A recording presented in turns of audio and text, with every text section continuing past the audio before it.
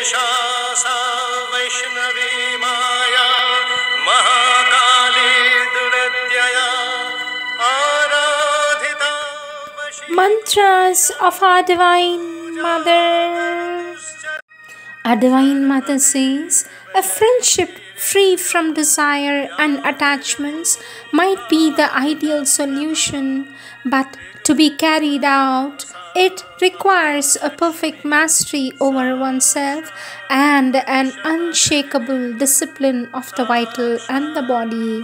And as for the moment it is not yet the case, it is wiser not to tempt the devil and to cut all relation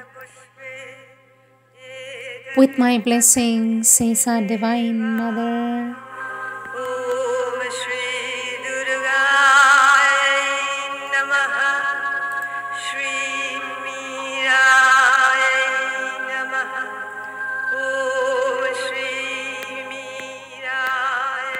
Words of our Lord Sri Aurobindo from the book Bases of Yoga, Chapter 5 Topic Physical Consciousness, Subconscient, Sleep, Dream, and Illness, page 107, New stanza. Um, our Lord says the subconscient is universal as well as individual, like all the other main parts of the nature, but there are different parts or planes of the subconscient. All upon earth is based on the inconscient, as it is called, though it is not really inconscient at all, but rather a complete subconscience, a suppressed or involved consciousness in which there is everything but nothing is formulated or expressed. Sri Aurobindo says the subconscient lies between this inconscient and the conscious mind, life, and body. It contains the potentiality of all the primitive reactions to life which struggle out to the surface from the dull and inert strands of matter and form by a constant development a slowly evolving and self formulating consciousness.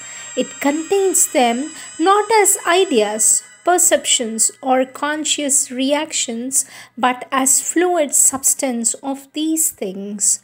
But also, all that is consciously experienced sinks down into the subconscient, not as precise, though submerged memories, but as obscure yet obstinate impressions of experience, and these can come up at any time as dreams, as mechanical repetitions of past thought, feelings, action, etc., as complexes exploding into action, event, etc.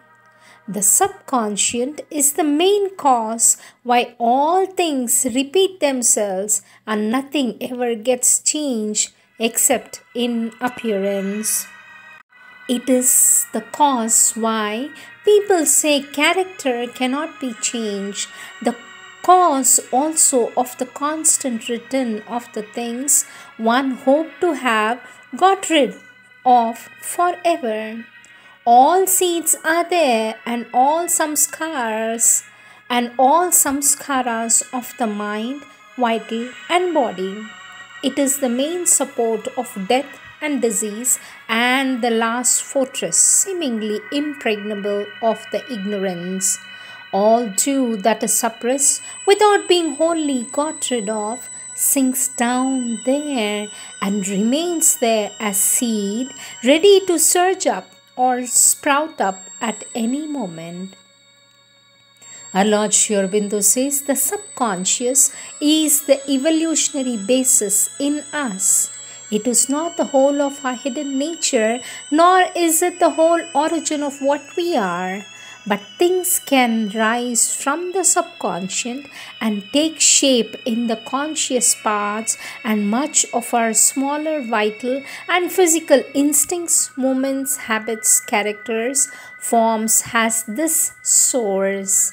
There are three occult sources of our action the superconscient, the subliminal, the subconscient. But of none of them are we in control or even aware. What we are aware of is the surface being, which is only an instrumental arrangement. The source of all is the general nature. Universal nature individualizing itself in each person, for this general nature deposits certain habits of moment, personality, character, faculties, dispositions, tendencies in us, and that whether formed now or before our birth is what we usually call ourselves a good deal of this in habitual movement and use in our own conscious parts on the surface, a great deal more is concealed in the other unknown three which are below or behind the surface. But what we are on the surface is being constantly set in motion, changed, developed, or repeated by the waves of the general nature coming in on us either directly or else indirectly through others, through circumstances, through various agencies or channels. Sri Aurobindo says some of this flows straight into the conscious parts and acts there, but our mind ignores its source, appropriates it, and regards all that as its own a part comes secretly into the subconscious or sinks into it and waits for an opportunity of rising up into the conscious surface. A good deal goes into the subliminal and may at any time come out or may not, may rather rest there as unused matter. Part passes through and is rejected, thrown back or thrown out or split into the universal sea. Our nature is a constant activity of forces supplied to us, out of which, or rather, out of a small amount of it, we may make what we will or can. What we make seems fixed and formed for good, but in reality, it is all a play of forces, a flux, nothing fixed or stable. The appearance of stability is given by constant repetition and recurrence of the same vibrations and formations.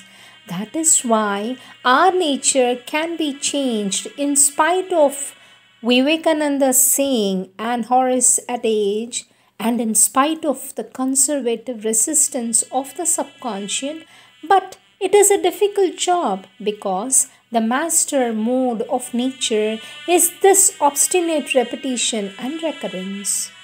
As for the things in our nature that are thrown away from us by rejection but come back, it depends on where you throw them.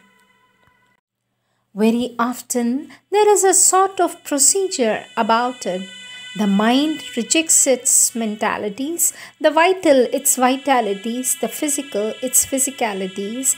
These usually go back into the corresponding domain of general nature.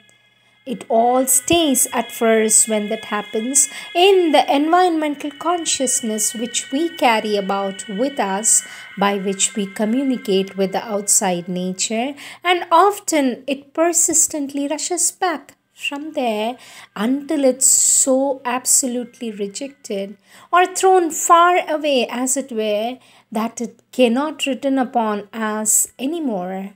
But when what the thinking and willing mind rejects is strongly supported by the vital, it leaves the mind indeed, but sinks down into the vital, rages there and tries to push up again and reoccupy the mind and compel or capture our mental acceptance.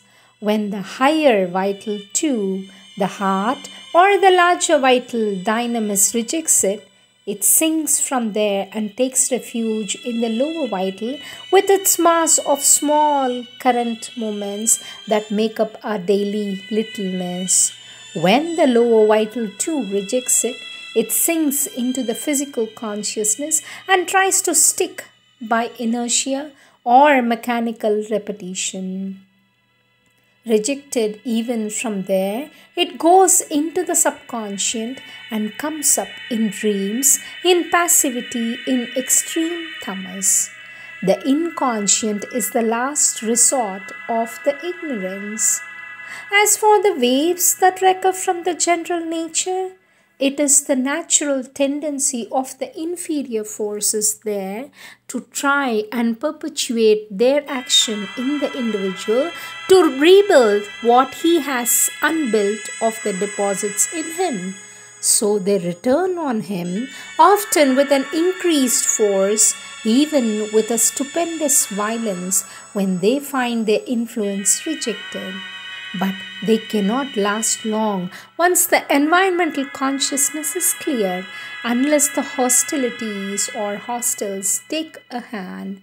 Even then, these can indeed attack, but if the sadhak has established his position in the inner self, they can only attack and retire. It is true that we bring most of ourselves, or rather, most of our predispositions, tendencies of reaction to the universal nature from past lives. Heredity only affects strongly the external being.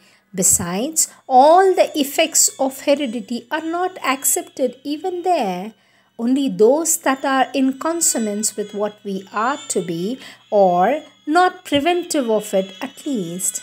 The subconscient is a thing of habits and memories and repeats persistently or whenever it can old suppressed reactions, reflexes, mental, vital, or physical responses.